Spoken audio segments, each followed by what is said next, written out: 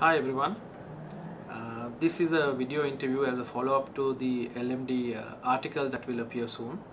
Basically, I talk about uh, my sector, which is the digital office automation uh, industry.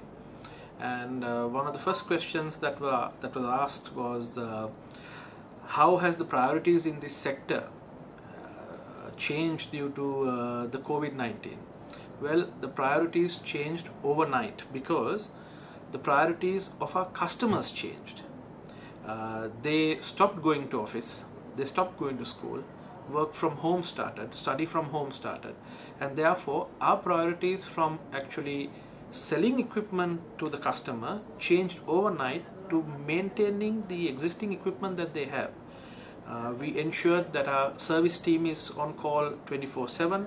We ensured that we have uh, online maintenance in effect so that we first prioritize on how we maintain the equipment and ensure all the equipment is in working condition instead of just going and pushing them new equipment.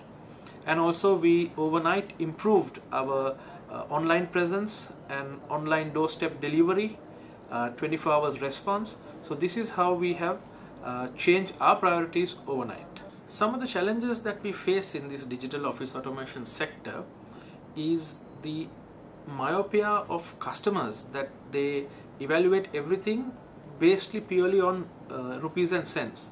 Now with this new uh, online wave that is going on even in the office automation sector you can find um, you know things like um, document workflow enhancement you have online approval systems you have online maintenance systems uh, software enhancements so many things that helps the customer uh, to basically work remotely.